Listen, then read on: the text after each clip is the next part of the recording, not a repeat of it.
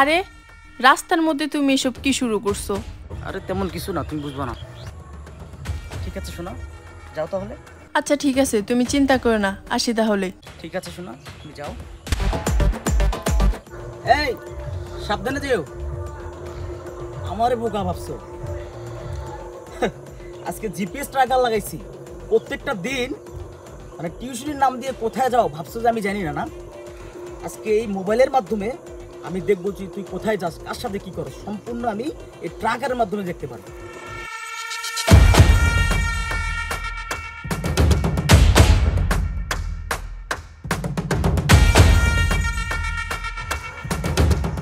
রে লোকেশন এদিকে দেখাচ্ছে কেন?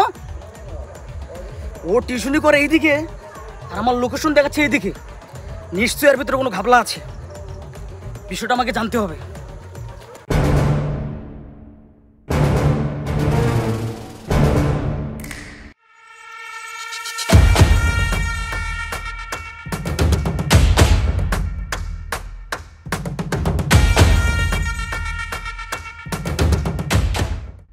আরে লোকেশন তো বরাবর দেখাচ্ছিল।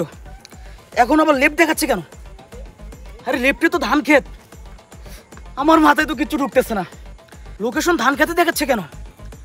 তার মানে আমি যেটা সন্দেহ করছিলাম সেটাই। দেখি তো। আরে লোকেশন লস দেখাচ্ছে কেন? কি করি? সিগন্যাল ডাউন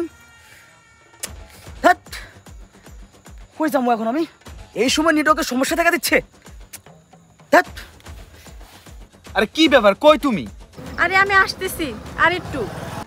সন্ধ্যা হয়ে গেছে কয়টা বাজে দেখছ তুমি? আরে বাবা আমি আগের মোড়েই আছি। কতক্ষণ লাগবে তোমার? তাড়াতাড়ি আসো আমি চলে যাব। আরে যান রাগ করো না এই তো চলে আসছি। আরে যান কিছু মনে করিও না। ওকে ম্যানেজ করে আসতে আসতে লেট হয়ে গেছে। চলো। এখান থেকে চলে যাই। বেশি লেট করলে সমস্যা। আর কই যামু এনে সেভ আছে, এটাই ঠিক আছে। আর তুমি কি? আমি বুঝি না মানে প্রত্যেকটা দিন, কালকেও তুমি আধা ঘণ্টা লেট করে আসছো। এর আগে তুমি লেট করে আসছো। এমন একটা দিন আছে যে তুমি তাড়াতাড়ি আসছো হ্যাঁ? দাও, আমি এভাবে কিন্তু তোমার সাথে দেখা হতে পারুম না। তুমি যা করবা তাড়াতাড়ি করো। আর ওর ছাইড়া দাও। আমি বুঝি না একটা মানে গরিবের ছেলের কাছে তুমি কি পাইছো? ওর দুটো পাতিল ছাড়া কি আছে আমার কও তো হ্যাঁ? থাও তো কুড়ে করে বৃষ্টি এলে যে টপ টপ করে যে পানি গায়ে পড়ে, এটা বুঝো হ্যাঁ? আর আমার এত বড় আলিশান বাড়ি পড়ে রয়েছে, এসি রুম দামি গাড়ি, দামি মোবাইল। তুমি কি মানে কোন করে কাছে কি আছে হ্যাঁ? এখনও সময় আছে, তাড়াতাড়ি ওরে ডিভোর্স দিয়ে নাহলে ধাক্কায়া ফালায়া তাড়াতাড়ি আমার কাছে চলে আসো। আমি আর এভাবে দেখা করতে পারব না, ভাই। আচ্ছা শোনো না, তুমি রাগ করতেছো কেন? তুমি কি জানো ওকে কত মিথ্যা কথা বলে, কত অজুহাত দেখিয়ে তোমার সাথে দেখা করতে আসতে হয়? তুমি যদি এটা জানতা, তাহলে এভাবে বলতা না। শোনো, আর অল্প কিছুদিন অপেক্ষা করো, ওকে যেভাবেই হোক, এই দুনিয়া থেকে সরিয়ে আমি একেবারে তোমার হয়ে যাব। চলো, আমরা এখান থেকে চলে যাই। দেখো এ তোমার জন্য অপেক্ষা করতে করতে ছয় মাস হয়ে গেছে আমি আর অপেক্ষা করতে পারব না। শুনো তুমি যদি পারো এই মাসের মধ্যেই ওকে কোনো একটা ব্যবস্থা করিয়া আমার কাছে চলে আসো। আচ্ছা তুমি রাগ করো না আমি যেভাবেই হোক ব্যবস্থা করে তোমার কাছে চলে আসব। ঠিক আছে শোনো না এখানে একটা সুন্দর জায়গা আছে। চলো প্রেম করব। আচ্ছা। আরে বাহ বাহ বাহ বাহ বাহ। নাটকটা তো খুব সুন্দর। আরে তুমি আমার কি ভাবছ? আমি বোকা? আরে তুমি বোকা স্বর্গে বাস করো। আরে তুমি তুমি এখানে কি করো? আর আমি যে এখানে তুমি কি করে জানলা? কে বলছে তোমাকে? আমি এইখানে কেন সেটা একটু পরেই জানতে পারবি। আগে তুই বল তোর পাশে থাকা লোকটা কে? তোর নতুন নাগর তাই না? এই যে এক্সকিউজ মি মুখ সামলে কথা বলো ঠিক আছে? তুমি জানো তুমি কার সাথে কথা বলছো? হ্যাঁ? আমার স্টার্টার সম্পর্কে তোমার কোনো ধারণা আছে?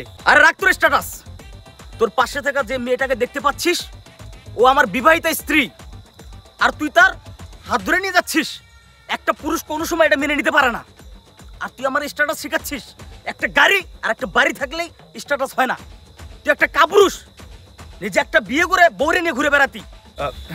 দেখুন ভাই আমার আসলে প্রথমে বলা উচিত ছিল ওর সাথে আমার অল্প কয়েকদিনের পরিচয় একটা ভালো বন্ধুত্ব আর এছাড়া অন্য কিছু না। আর রাখ তোর অল্প কিছুদিন। তুই কি ভেবেছিস? আমি কিচ্ছু বুঝি না। আরে তোদেরকে ধরার জন্য আমি দীর্ঘ ছয়টা মাস আমি তোদের পিছনে লেগে আছি।